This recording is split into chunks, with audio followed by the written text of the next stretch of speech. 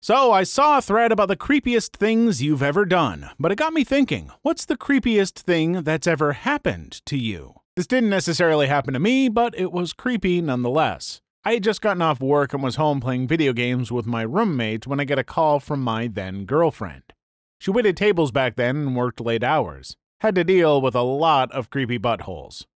Anyway, she had been on the way to my apartment when she realized that she was being followed by the same car that had been parked outside the restaurant the past two nights she'd gotten off. The occupant just sat in the car smoking, watching the waitresses get in their cars and go home. Creepy mother effer. The first thing I ask her if she's sure he's following her, which she is.